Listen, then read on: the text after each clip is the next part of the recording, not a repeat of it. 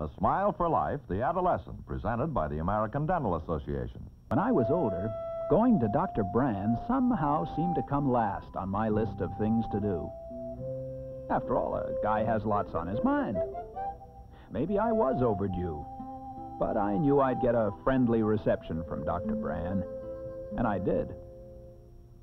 He told me I had good teeth, but the way I was going, I'd never have that smile for life. Not only missing regular checkups, but it looked like I was eating a lot of sweets, too. Now, how did he know that? He showed me how. I was a teenager, and teenagers get careless, seem to forget all they learn. He pointed to a chart that showed that the teens were the years when most cavities occur.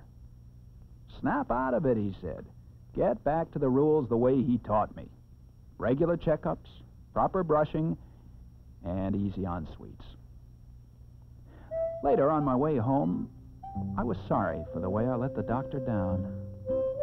From now on, teenager or no teenager, I was going easy on sweets and regular on checkups.